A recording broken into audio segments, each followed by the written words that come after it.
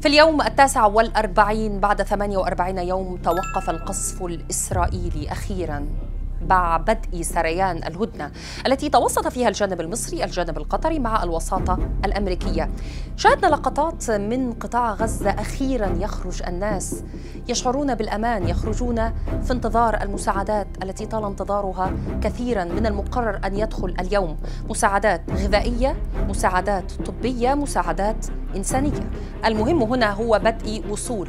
المستشفيات الميدانية التي تصل إلى قطاع غزة سيتم تركيبها ربما تدخل العمل في خلال أسبوع من الآن. تستقبل عدد كبير من الجرحى والمصابين. نعلم أنه عدد القتلى في قطاع غزة هو وصل إلى حوالي 13300 ولكن العدد قد يكون أكثر والمصابون هو أعدادهم أكثر بكثير. طبعا ذلك مع توقف العمل تقريبا بأغلب المستشفيات في قطاع غزة. نعلم أن المستشفى الإندونيسي أيضا خرج عن الخدمة مستشفى الشفاء خرج عن الخدمة. بالإضافة إلى عدد كبير من المستشفيات التي لم تعد تعمل بعد الآن. هذا شق إنساني وطبعا هو في منتهى الأهمية. العالم كله يترقب اللحظة التي تصل فيها المساعدات لتنقذ أهالي غزة من الحياة الصعبة المؤلمة التي عاشوها طوال الأيام الماضية. لكن هناك أيضا شق سياسي وبعد سياسي مهم.